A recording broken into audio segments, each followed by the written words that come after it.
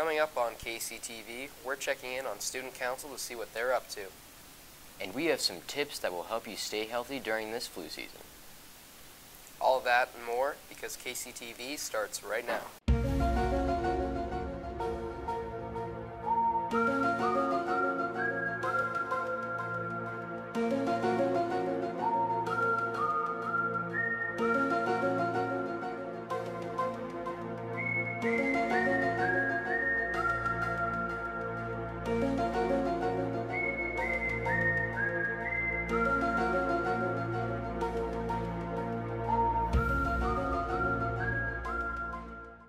We have an inside look at the Student Council. I'm Kyle.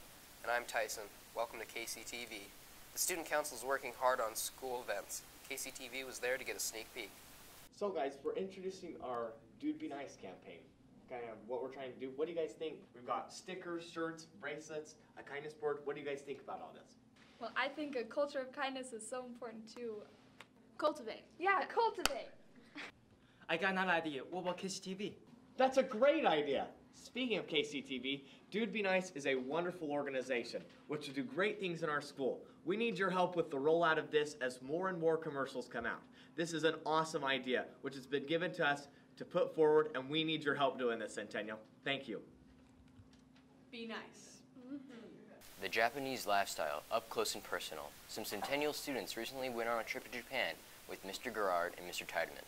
It was really cool. All the buildings were like 10 times bigger than in Idaho.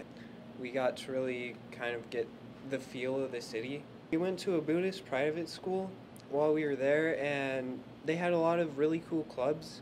It was really cool to see all the like the difference between the really urban areas and the small towns that we passed. Last day before we left, we were in Kyoto and we got to see a lot of the shrines and um, historical sites that were there because Kyoto is the previous capital and it has.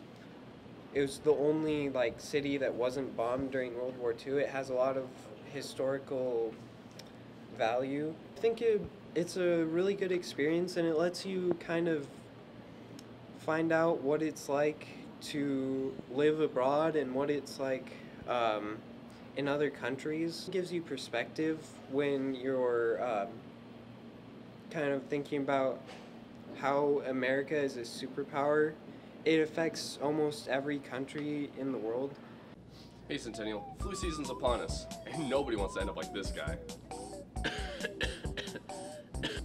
so, in order to prevent yourself from getting sick, wash your hands. Don't share any food or drink. Yo, Liam, want a Funyun? Yeah, sure, man. Don't do that. Don't touch anybody at all. And in case if you already are sick, use tissues. Get a cough drop. And if you don't have either, and you gotta sneeze, just use your arm. And finally, with the new release comes some new emojis. Here are a few favorites. The new iPhone X came out a few days ago, and uh, we're going around asking people what their favorite emojis are. What is your favorite emoji? Uh, I like the sparkle one. What is your favorite emoji? Laughing emoji. What is your favorite emoji? Bro, you know, it's the kissing emoji. Oh, yeah. What is your favorite emoji? My favorite emoji is like the one that has like the, it's like a newer one with the annoyed face. It's like its eyes are going up because that's like me all the time. So What is your favorite emoji? Probably the laughy face emoji. That's KCTV for today. I'm Tyson. And I'm Kyle. Have a great day, Centennial. Hello, stranger.